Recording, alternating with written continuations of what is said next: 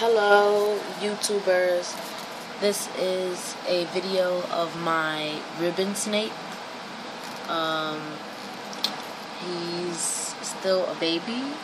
I, they live for about 10 years, and he's a male. He's about two feet long, maybe a little less, and he is shedding. He's in his process of shedding.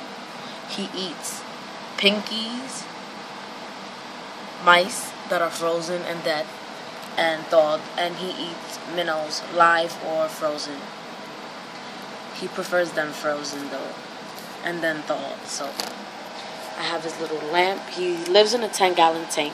He's not even two feet long, and he's shedding. So he's growing, and sometimes he's aggressive, sometimes he's not. I bought him from a pet shop for twenty dollars and He's a ribbon snake. At first, I thought he was a garden snake, but he's one of their cousins called the ribbon snake.